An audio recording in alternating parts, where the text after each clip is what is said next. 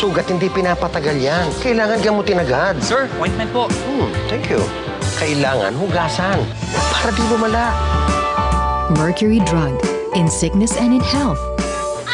Apo, hindi niya hawak ang puso mo. Hawak niyo po ang sugat ko.